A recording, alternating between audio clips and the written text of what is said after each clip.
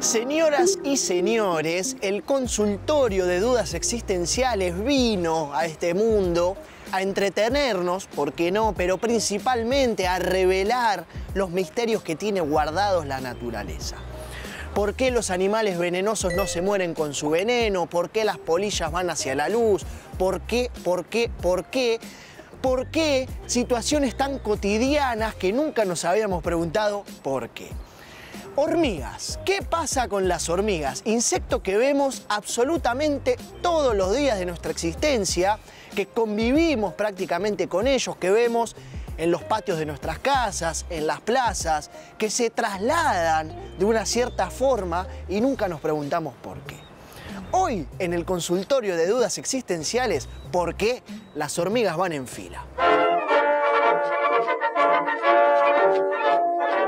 Las hormigas, damas y caballeros, son insectos que marchan en hilera porque se comunican a través de feromonas, de olores. Van dejando pistas de feromonas, es decir, rastros químicos olorosos que todas las hormigas empiezan a seguir y por ende terminan formando una larga hilera de hormigas que persiguen el mismo olor. La cosa funciona más o menos así. La colonia de hormigas necesita X cosa, una fuente de alimentos, un nuevo refugio, una nueva colonia de hormigas, lo que sea. Para ir en busca de eso que se necesita salen hormigas exploradoras solitarias, que van en busca de eso que hace falta. Encuentran eso que hace falta, la fuente de alimento, pongámosle, y vuelven al hormiguero a avisarle a sus compañeras hormiguitas lo que encontró. ¿Cómo es que le avisa a sus compañeras hormiguitas lo que encontró? A través de olores. Deja rastros olorosos que las otras hormigas empiezan a seguir. Es por eso que como todas las hormigas vayan a esa fuente de alimento siguiendo ese único rastro, se forma la famosa hilera de hormigas.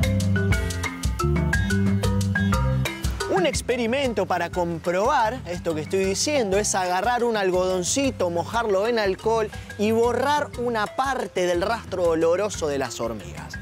Cuando las hormigas lleguen a esa parte del rastro oloroso perdido, se van a desorientar, se van a empezar a salir de la fila, se van a desbandar.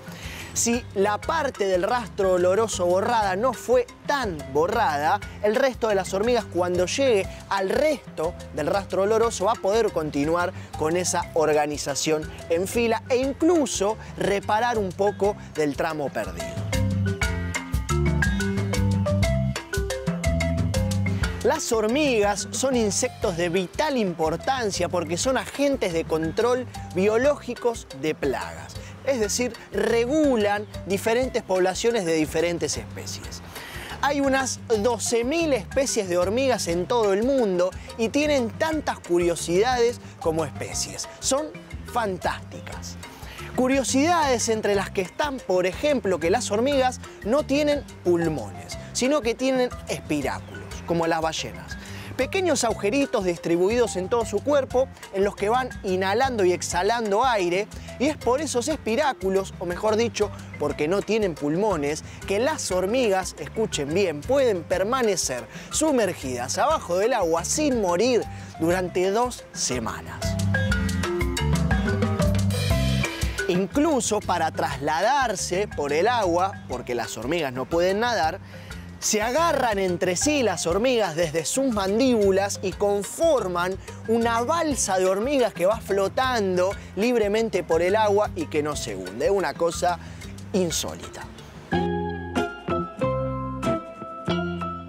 En apariencia, las hormigas se muestran, se ven frágiles y sensibles, pero si hay algo que no son ni frágiles ni sensibles, porque de hecho tienen una esperanza de vida de entre 4 y 12 años, que para lo que es un insecto es una barbaridad de tiempo.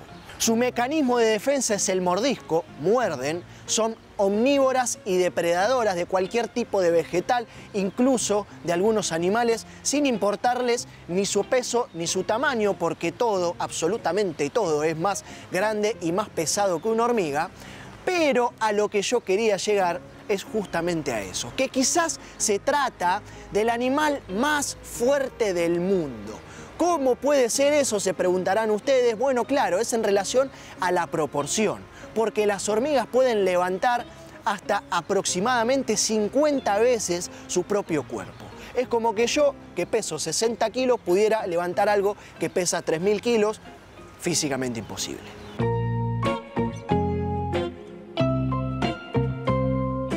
Socialmente hablando, las hormigas tienen una estructura y una jerarquización bastante parecida a la de las abejas, donde hay una hormiga reina que tiene la única misión reproductora, donde hay hormigas macho, también llamadas zánganos, que tienen la única misión de hacer reproducir a la reina, y después hormigas exploradoras y hormigas trabajadoras.